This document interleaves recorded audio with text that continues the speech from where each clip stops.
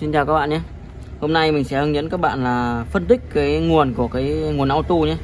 À, Chúng có thể điều chỉnh được từ 5V cho đến uh, bao nhiêu? 3V này 3V đến 24V Thì đây mình sẽ lắp vào cho các bạn xem nó chỉnh này.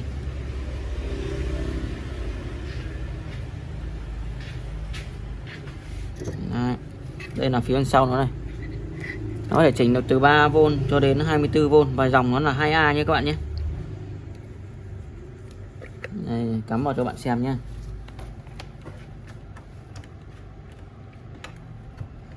đây các bạn này. Đấy. Đây hơn 3V này. 3V 3 thực tế đây là 3V 3 đúng không? 3V 4 cho này lên này lên này. Đấy, lên là tầm khoảng 24V cái con nguồn này nó lúc nãy nó nổ các bạn. Nó nổ tan xác hết.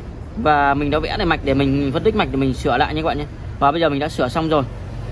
Đấy. đây này. Nó nổ tung tóe hết khu vực này. Thế bây giờ mình sẽ phân tích cho bạn xem nhé.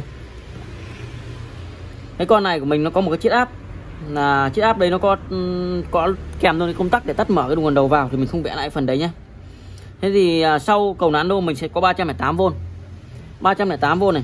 Vào chân 1 ra chân 2 cấp vào D của MOSFET S của MOSFET được nối mát qua con trở 0,5 ohm thế thì à, con MOSFET này muốn hoạt động thì phải có điện áp mồi qua điện trở một mê này kích vào chân R, G này đúng không và nó diễn dòng từ D sang F sinh à, dòng chảy trên cuộn 12 và từ trường trên cuộn 12 được cảm ứng sang các cuộn thứ cấp.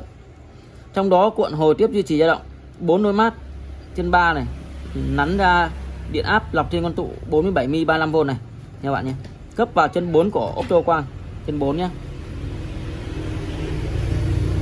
4 thế thì con này của mình ấy dao động của nó ấy, dao động của nó được lấy từ cái đầu cái cuộn số 4 này các bạn này.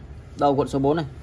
Đấy, lúc này các bạn nhìn là không được nối mát hẳn mà nối mát qua con tụ con diode nó đề là C9 đi đây. Đi qua con tụ 152 qua con chở 1K quay về để tạo tần số điều khiển con MOSFET này hoạt động đúng không ạ? Đây là một cái mạch nguồn dao động nghẹt tuy nhiên lại dùng à, uh, MOSFET thế thì uh, lúc này sẽ có từ trường cảm ứng sang các cuộn thứ cấp nhé. Thế thì khi mà điện áp đầu vào tăng đúng không ạ? Thì điện áp đầu ra của mình cũng sẽ tăng. Điện áp đầu ra tăng thì sẽ khiến cái con ốc tô quang này của mình nó phát sáng mạnh. Con này phát sáng mạnh thì con này dẫn từ 4 sang 3 mạnh. Lúc này nó lấy cái điện áp đây này ở trên cái cuộn hồi tiếp này các bạn. Nó nắn từ nó lấy nắn nó nó chuyển nó dẫn từ 4 sang 3 nó đưa vào đây, đưa vào cái điểm này mạnh này. Đưa vào điểm này điểm này, điện áp ở đây nó dâng cao lên thì nó làm cho con Q2 này dẫn mạnh hơn bình thường. Mạnh hơn bình thường. Khi con Q2 này dẫn mạnh hơn bình thường thì có nghĩa là nó kéo tụt điện áp ở cực B, con Q3 là mạnh hơn. Và cực B, con Q3 tụt điện áp mạnh, đúng không ạ? Con này có dòng chảy EB và con này dẫn dòng từ E sang C, đúng không ạ? Từ E sang C. Để đi vào cực B, con Q2 này. Kết quả là sao ạ? Là điện áp ở cực G ờ, bị giảm đi, bị kéo tụt đi điện áp ở cực G bị kéo tụt đi thì con MOSFET này của mình nó dẫn yếu đi và nguồn ra của mình nó yếu đi và ổn định. Thế thì nay mai trên này nó có một cái chiết áp đúng không ạ? Đây, có một cái chiết áp này. Thì cái chiết áp này các bạn thì nó có thể chỉnh tăng hoặc chỉnh giảm đúng không ạ? Thì đây là chiết áp này của mình này. Thế thì à, khi mà điện, mình sẽ, trước khi mình phân tích cái chiết áp này, mình sẽ phân tích cái điện áp vào giảm. Điện áp vào giảm đúng không? Thì điện áp ra chắc chắn nó sẽ giảm rồi. Điện áp ra giảm thì làm cho cái ốp tô quang này phát sáng yếu. Con này phát sáng yếu thì con này nó dẫn yếu đó, dẫn từ 4 sang 3 yếu. Có là nghĩa là điện áp của B con Q2 lúc này của mình này, điện áp nó sẽ yếu hơn bình thường, yếu hơn bình thường. Lúc này con Q2 này của mình nó dẫn yếu thì đương nhiên là điện áp vào B của con Q Q3 là nó tăng lên. Tức là điện áp hồi tiếp về này và điện áp mồi này đi vào bên Q3 nhiều hơn. Thế thì lúc này con Q3 này của mình sao ạ? Dẫn yếu. Q3 dẫn yếu thì điện áp mồi này có bao nhiêu? Đi vào cực G hết, đúng không ạ? Đi vào cực G nhiều hơn khiến cho con Q1 này của mình nó dễ khỏe hơn.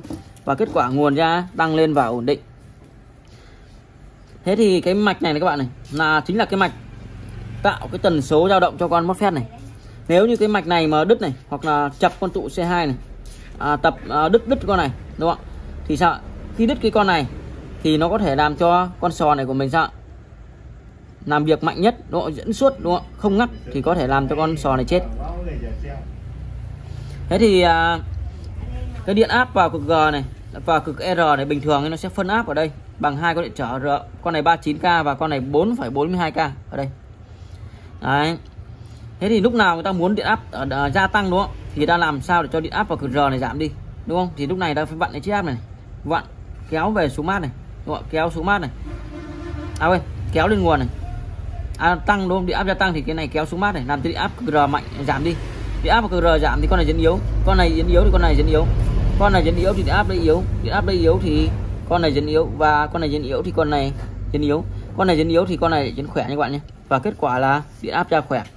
Khi chúng ta muốn tăng điện áp ra, đúng không? Thì chúng ta làm như vậy.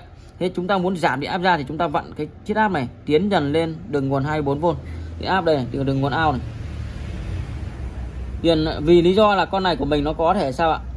Thay đổi được từ 3V 4 cho đến là 24V thế thành ra là điện áp đây nó cũng thay đổi theo, cũng không nhất thiết nó phải là 34V 24V thế thì muốn điện áp ra, giảm đi, thì mình chỉ việc chỉnh cái chiếc áp này, tiến dần về cái đường nguồn ao này, đúng không ạ? Thì điện áp ở đây sẽ tăng lên điện áp tăng đây, lên thì con này sáng mạnh. Con này sáng mạnh, con này dẫn mạnh. Con này dẫn mạnh thì điện áp ở cực B BQ2 mạnh. Và khiến con này dẫn mạnh, khiến cho con Q3 này dẫn mạnh. Và con này làm việc yếu đi, nguồn ra, yếu đi nha các bạn nhé. Đấy và các bạn có thể là chụp lại thông số này nhé. Nếu như ngày mai mà các bạn có một con à, nguồn nó bị chết hết đúng không các bạn có thể làm theo đúng cái thông số này. Đây các con tụ này, này thông số này chuẩn này. Còn Q2 Q3 các bạn cứ thay đúng con thuận con ngược là được nhé. MOSFET này các bạn có thể thay bằng 6N60 cũng được. Tùy theo công suất nguồn của bạn lớn hay khỏe. Tất cả những thông số này đều chuẩn hết nha các bạn nhé. Con này thì có thể là BC à, con này là con à, gì nhỉ?